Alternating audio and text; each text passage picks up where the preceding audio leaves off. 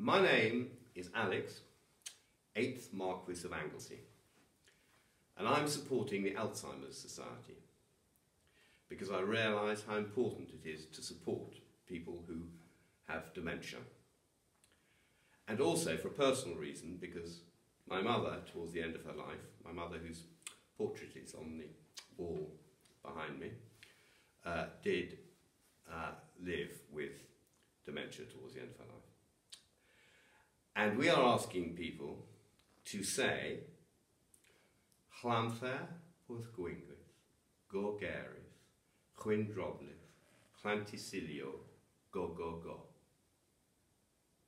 We're asking people to say that word